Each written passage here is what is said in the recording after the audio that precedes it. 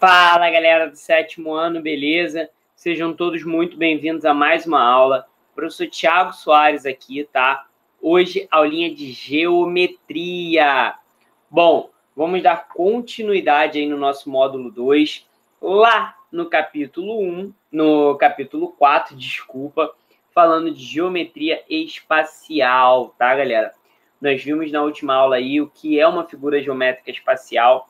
Na verdade, nós relembramos, né, porque a gente já viu isso aí nos anos anteriores. Nós vimos lá sobre é, como é formada uma figura, para que serve a figura geométrica espacial. E agora vamos dar continuidade aí à nossa matéria, beleza? Bom, vou desligar minha webcam aqui, porque vocês sabem que ela trava meu computador demais. Vou apresentar a minha tela aqui para os senhores e senhoras. E assim começar a compartilhar a minha tela, eu começo a explicar a matéria. É uma matéria bem simples, bem tranquila, que nós vamos começar a falar aí sobre mais um pouco, né? Aprender um pouco mais, na verdade, sobre os, as figuras geométricas espaciais. E aqui, então, galera, ó, minha tela está sendo apresentada. Vou dar um F11 aqui para ficar melhor. E aqui agora, ó, nós vamos ver um pouquinho sobre poliedros, tá? E falar um pouco mais sobre eles. Nós vimos na última aula que os poliedros são todas aquelas figuras geométricas formadas apenas por partes planas, tudo bem? É, e também vimos os não poliedros, que são aquelas figuras quando tem uma curvinha, beleza?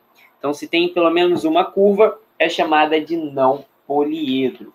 Beleza, galera? Bom,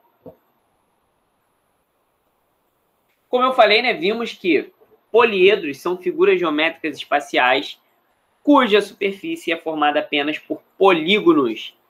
Agora, nós vamos ver alguns elementos desses polígonos, tá?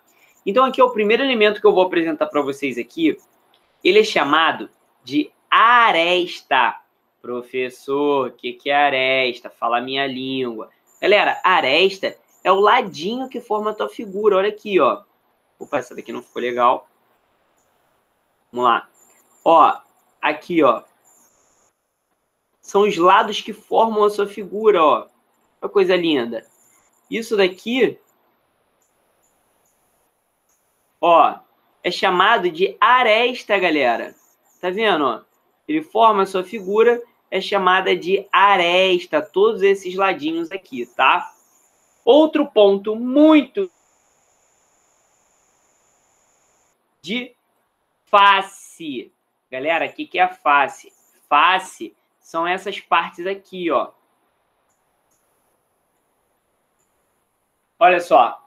Essa parte da frente é uma face. Essa daqui, ó, é outra face.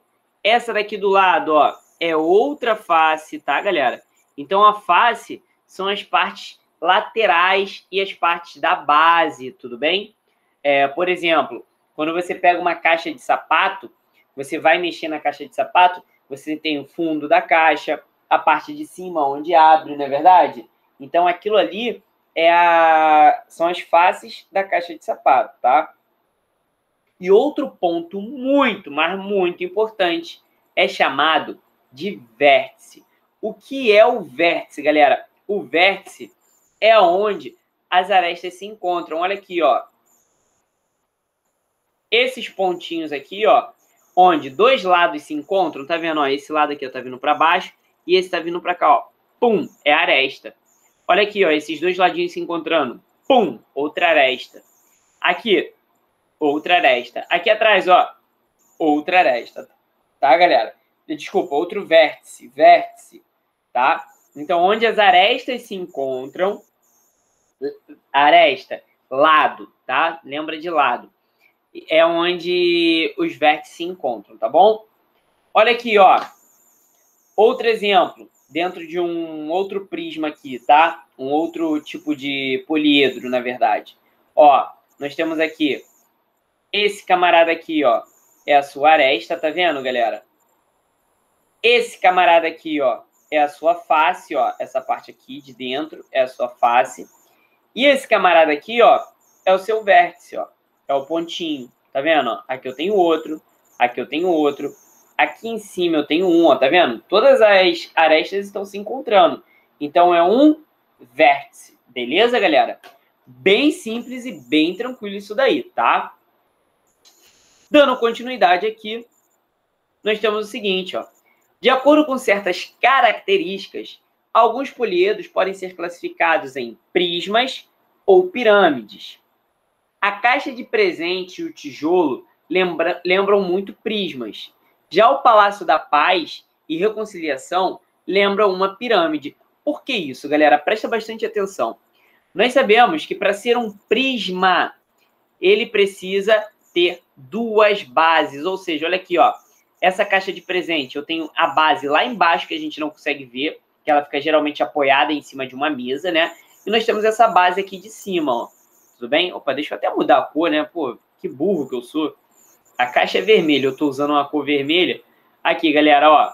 Aqui embaixo eu tenho uma base que eu não consigo ver porque ela está apoiada em cima de uma mesa. E aqui em cima, ó, eu tenho a outra base, que é onde eu passei o lacinho, onde a pessoa vai abrir a caixa, né, para observar o presente que tem ali dentro. Então, isso daqui são a base, tudo bem? E aí, ó, todas as faces laterais, seria essa, essa daqui, aquela lá de trás e essa daqui de trás, elas são quadrangulares, tá? O mesmo exemplo aqui, ó, eu tenho do tijolo. Eu tenho a minha base aqui em cima e uma base aqui embaixo, tá? E essas daqui, ó, são faces quadrangulares, tá? Eu tenho outra face aqui atrás e a outra face aqui atrás, beleza? Já o Palácio da Paz e Reconciliação, que fica em Astana, no Cazaquistão, tá? Ele é uma pirâmide. Por que ele é uma pirâmide, galera? Porque olha aqui, ó, acompanha comigo ele tem uma base. Opa, tá vendo? Ele possui apenas uma base e as suas arestas laterais, ó, elas formam um triângulo. Olha ali, ó, que bonitinho o triângulo que ela formou. Então isso daqui é uma pirâmide, porque eu tenho aqui, ó, uma única base e todas elas têm a forma lateral aqui, ó, as faces laterais, elas têm a forma de um, uma pirâmide. Beleza? Dúvidas alguém? Eu acho que não, né? Bem tranquilo isso daí. Então, ó, vale lembrar, né, que eu acabei de falar, prismas são poliedros que têm duas faces idênticas. Então, ó, as faces idênticas a gente chama de base, beleza, galera? Então, sempre, ó, as faces idênticas eu chamo de base aqui, ó. Eu tenho uma base, aqui em cima eu tenho outra base. E as faces laterais aqui, tudo bem?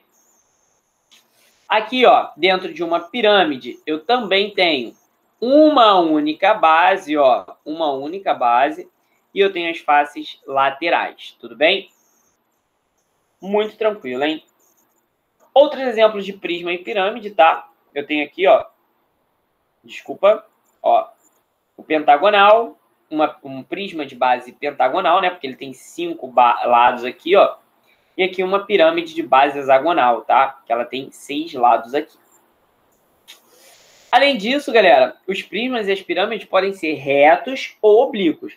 Quando eles são retos? Eles são retos quando eles são aqui, ó. Tá vendo? Em pezinho, bonitinho. Quando eles estão um pouquinho inclinados, eles são chamados de oblíquos, tá? Esses daí. As faces laterais de um prisma reto são retângulos já as faces laterais de uma pirâmide reta são triângulos isósceles. Existem também os poliedros que não são prismas e nem pirâmides. Aí aqui a gente tem alguns exemplos, tá? Eles não têm classificação, beleza? E de acordo com a quantidade de faces, os poliedros recebem um nome específico. Se ele tem quatro faces, tetraedro. Cinco faces, pentaedro. Hexaedro, heptaedro. E assim ele vai, tá? Aí chega aqui, ó, no número 11, um decaedro, o 12, dodecaedro, no 20, icosaedro, tá? Em geral, um prisma reto de base retangular é chamado de paralelepípedo ou bloco retangular. No entanto, como ele tem seis faces, também recebe o nome de hexaedro. Ou seja, galera, aquele paralelepípedozinho, deixa eu até desenhar aqui para vocês, eu acho que fica maneirinho. Ó, esse paralelepípedozinho aqui, ó, que você encontra na rua, na calçada, né, geralmente,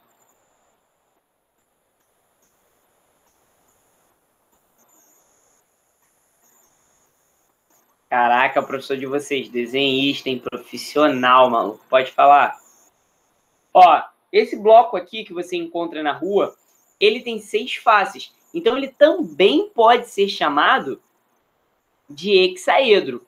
Mas quem vai chamar ele de hexaedro? Ninguém, né? Mais fácil a gente falar paralelepípedo, beleza? Então, ó, ele também pode ser chamado de hexaedro, beleza, galera? Aqui ó, tenho um tetraedro, que é um exemplo, né, que tem quatro lados.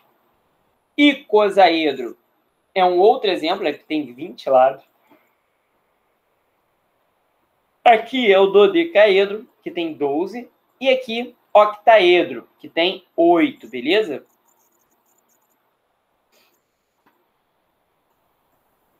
Então, galera, aulinha bem tranquila aí hoje, tá? A gente falou aí, ó, dos prismas e do, das pirâmides, tá? Espero que vocês tenham entendido de boa, espero que vocês tenham gostado da aulinha aí. Deixa eu voltar aqui para nossa telinha principal, parar minha apresentação. Vou ligar minha webcam aqui para vocês acompanharem esse rostinho lindo aqui. Vamos lá. Pronto, galera. Bom, então olha só. Aulinha finalizada com sucesso, galera. Aulinha top, tá? Espero que vocês tenham entendido, espero que vocês tenham gostado. Vamos voltar aí para a sala de aula assim que essa pandemia acabar, beleza, galera? Ó, grande beijo, grande abraço, até a nossa próxima aula. Fui que fui, hein?